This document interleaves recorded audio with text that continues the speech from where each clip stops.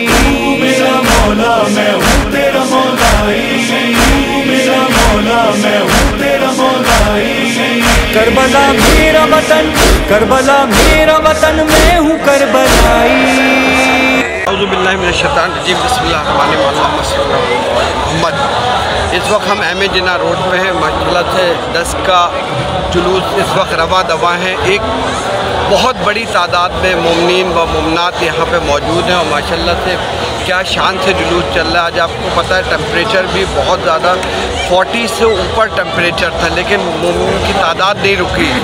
और आप देखें, माशाल्लाह से ज़्यारतों की तादाद इतनी ज़्यादा और हर तरफ़ आपको पूरे कराची में लोग ही लोग नज़र आ रहे हैं। इस वक्त अजादारान शियान करबला सारे लोग यहाँ पे मौजूद हैं और ज़्यारतों के लिए आए हुए हम इस वक्त मरकज़ी तंजीम आज़ाद और तंजीम आज़ादारी के कैंप पे बैठे हुए हैं हमारे साथ तंजीम अज़ा के डी एस मेहंदी बैठे हुए हैं और बाकी पूरी कैबिनेट बैठी हुई है।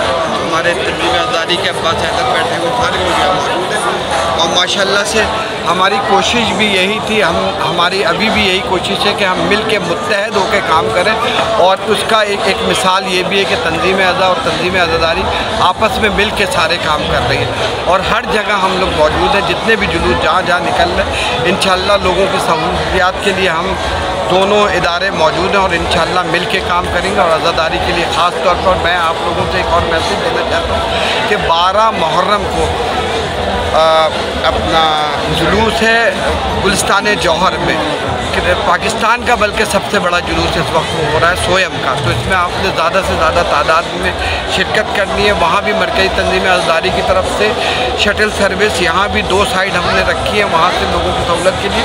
वहाँ भी इन चलाएँगे। इसलिए कि काफ़ी रास्ता है जो एक मील का है। रोड पहले बंद कर देते लेकिन हमने ये इंतज़ाम किए हुए हैं और टावर से तंजीम अज़ा ने भी बसों का सिलसिला शुरू किया है। जो ममिन वापस जा रहे हैं तो उनके लिए टावर से बसों का सिलसिला शुरू किया, वो पहुँचा के आएँगे।